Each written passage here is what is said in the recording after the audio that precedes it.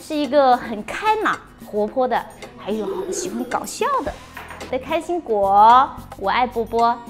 他那时候我是一五年来的嘛，然后他那时候嘛，哎，个子比较矮嘛，然后，哎，就是上课的时候，啊，就是一些哎做做手工的啊，做一些家政的呀，嗯，像那些剥皮的那个水果呀，他都不会剥皮，然后他直接把那个吃掉了，最多做一分钟，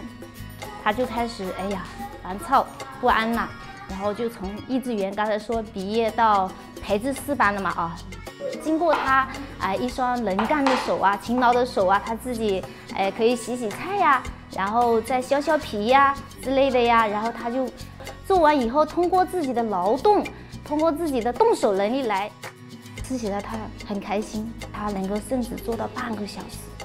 我的下一步就是说，刚才，呃，之前艾丽就跟我讲到要学一些，呃呃，就是说礼貌上的用语、用语啊、手势啊，呃，这个我觉得也对，呃，波波呢也很非常的重要。我就想通过这个礼貌用语啊，来教他一些，